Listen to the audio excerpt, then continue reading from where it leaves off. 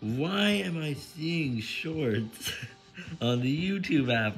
I'm not even kidding, they shouldn't appear, but instead YouTube simply added them there about a few pixels below the below the home screen.